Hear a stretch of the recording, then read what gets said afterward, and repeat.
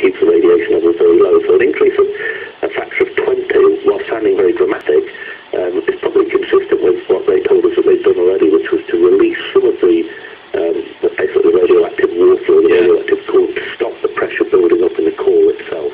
How- what we don't however, know, can- what we can't see is, is what that explosion is, where, where